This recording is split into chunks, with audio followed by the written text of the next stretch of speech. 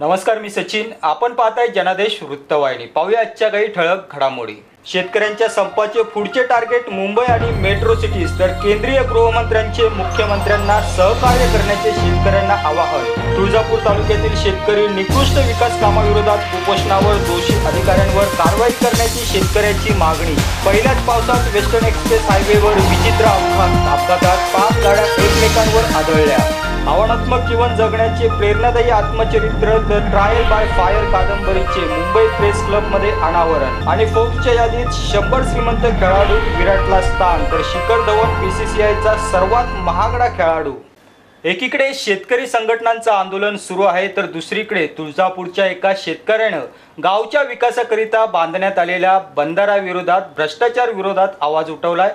या भ्रष्टाचाराची संपूर्ण चौकशी होऊन दोषी अधिकाऱ्यांवर कारवाई व्हावी अशी मागणी या शेतकऱ्यांनी केली आणि त्याकरिता त्यांनी आमरण उपोषण सुरू केले मुंबईतील आझाद मैदानात उस्मानाबाद जिल्ह्यातील तुळजापूर तालुक्यातील वडगाव काटी या गावचे शेतकरी महावीर काटकर यांनी आझाद मैदानात उपोषण सुरू केले त्यांच्या म्हणण्यानुसार त्यांच्या गावच्या विकासाकरिता बांधण्यात आलेल्या सिमेंटचा बंधारा निकृष्ट दर्जाचा असून काही दिवसातच तो पडलाय.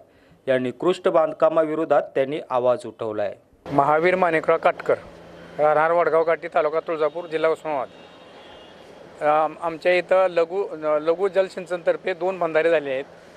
ते बंधारे बांधकाम झालेल्या नंतर पंधरा दिवसातच त्याला बेगा पडल्या. एखादं घर जर बांधलं आपण स्लॅब टाकला तर नऊ इंचात दहा दहा वर्ष चिरत नाही.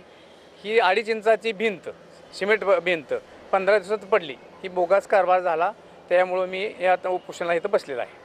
आणि ती जी रक्कम मंजूर आमच्या गावच्या विकासासाठी आलेली आहे जलयुक्त शिवारची बंधाऱ्याची ती ती भिंत पडल्यामुळं हा तक्रार माझं म्हणणं आहे की ती बोगस कारभार आज झालेला आहे तिची चौकशी व्हावी आणि त्याच्यावर कारवाई व्हावी.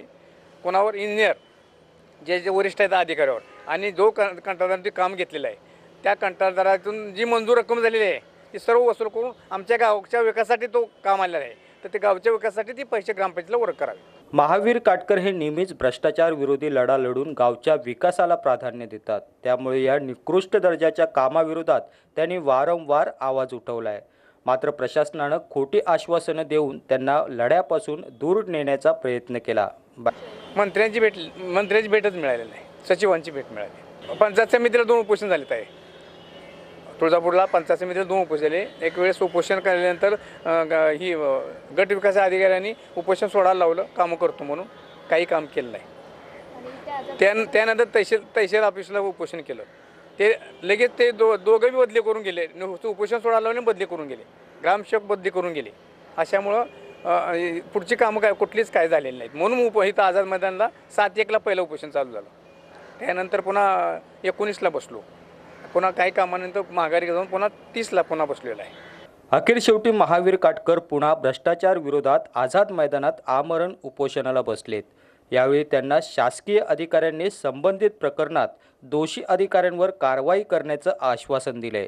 मात्र जोपर्यंत आपल्याला न्याय मिळत नाही तोपर्यंत आपण लढतच राहू अशी भूमिका त्यांनी घेतली. इथं आल्यानंतर बनकर साहेबांनी लेटर दिलं आणि बंधाऱ्याचं वखारे साहेब म्हणून सचिव आहे त्या दोघांचं लेटर मिळालं आहे. माझं म्हणणं आहे की मुख्यमंत्री भेट शेवटी नाही झाली तर सच सचिव यांची भेट होऊन ग्रामपंचायत सगळा कारभार सिमेंट रस्ते बोगस झालेले पाण्याचे हौद बोगस झालेले आहेत पुन्हा अं, स्मशानभूमीला सिमेंट रस्ते झाले आहेत तेही पण बोगस झालेले आहेत. हे सगळ्याचा तोही प जो मंजूर रक्कम आहे ते ग्रामपंचायत वर्ग करावी यांच्याकडे वसूल करून आणि वरिष्ठ जे अधिकारी आहेत त्याच्यावर जे देखरेख करणारे ग्रामसेवक विस्तार अधिकारी ग गट विकास अधिकारी यांच्यावर कारवाई व्हावी.